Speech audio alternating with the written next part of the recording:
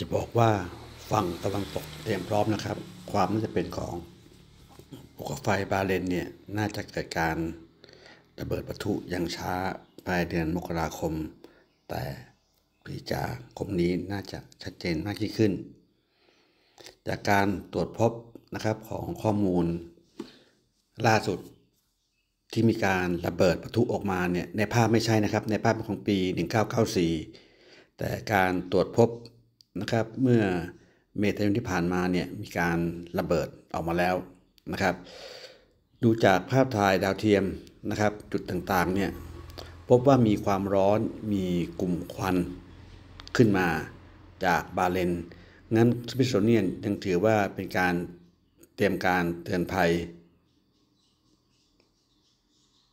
ว่าจะระเบิดขึ้นมาใหม่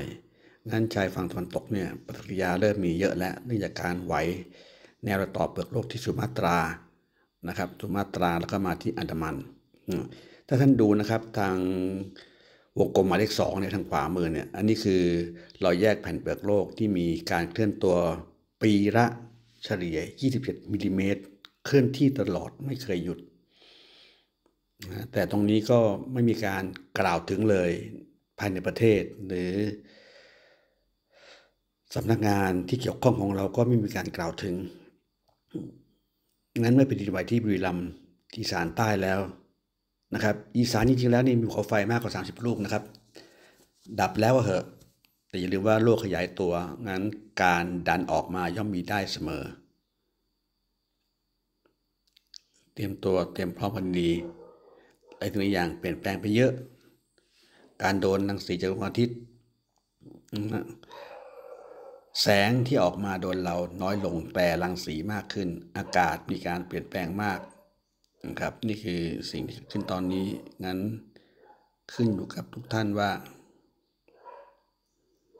จะระวังตัวเองขนาดไหน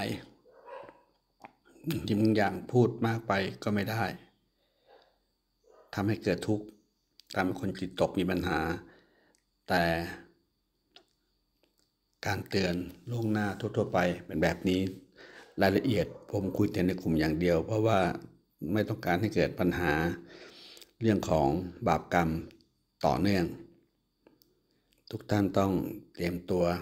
ช่วยเหลือตัวเองกันดีๆ ในทุกสถานการณ์โดยเฉพาะภาวะสงครามที่กำลังเกิดขึ้น ตอนนี้นะครับจะเป็นข่าวหลากหลายจากกลุ่มต่างๆก็ดี ที่ออกข่าวมาเตือนมาเนี่ยมีอยู่เรื่อยๆนะครับของอิสราเอลเรื่องของเชื้อโรคระบาด เดือนนี้ครับ จริงๆแล้วเนี่ยวันสามสี่เนี่ยจะมีการโจมตีกันแล้วดังนั้นแล้วแต่สงครามรุนแรงตะวันออกกลางลามไปยูเครน เดือนนี้เกิดขึ้นแน่นอนและราคาสงครามสินค้าจะพุ่งกระโดดสูงขึ้น รู้อะไรไม่สู้ รู้วิชา รู้รักษาตัวยอดยอดดีครับ